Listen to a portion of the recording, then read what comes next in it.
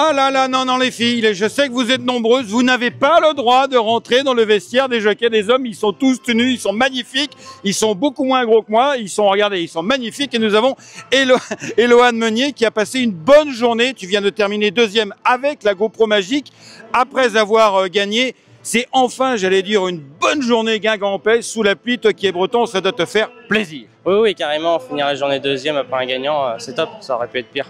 Voilà, alors explique-nous, tu as passé une année 2023 épouvantable. Qu'est-ce qui s'est passé?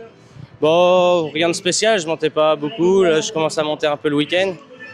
Et donc là, c'est parti.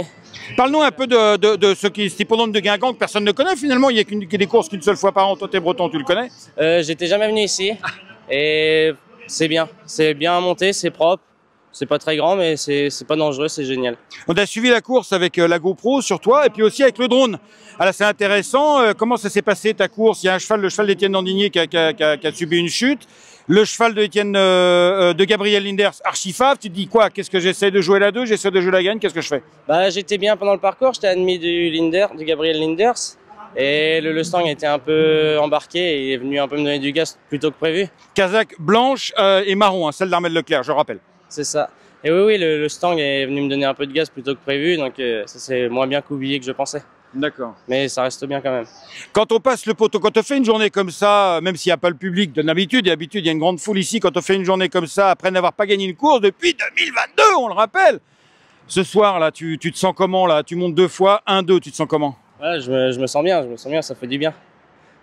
C'est cool. Ouais. Tu as le soulagement d'avoir passé le poteau en tête tout à l'heure dans la course plate Oui, oui c'est un grand soulagement. Ça, ça relance pour finir l'année. Alors, pour finir l'année, donc là, on rappelle, tu as monté deux fois pour Amel Leclerc, mais tu ne travailles pas chez lui, mais à côté, rappelle-nous. Oui, c'est ça, je travaille chez Patrice Quinton, juste à côté, donc euh, c'est bien. Là, tu vas aller voir Patrice en disant Hé, hey, t'as vu? Il est au Touquet, donc euh, je sais pas si je vais le voir ce soir, je pense pas. D'accord, donc tu espères monter, bien sûr, tout l'automne. Tout l'automne, euh, tout le... C'est le moment aussi de se montrer, hein, pour l'automne et pour l'hiver qui arrive. Il y a Pau, enfin maintenant, de toute façon, il des courses dans le Grand Ouest, il va y en avoir tout l'hiver. Hein. Donc c'est le moment de se, se montrer, n'est-ce pas? Oui, c'est ça, il en reste un paquet encore en Bretagne, un peu partout, ça va être cool. Allez, pour conclure, tu peux monter à quel poids? 61. 61. 61, 61 kilos de muscles. On va laisser les filles rentrer tout seuls et encore habillés dans, dans les vestiaires des jockeys. Allez, ciao Guingamp. Merci Eloane.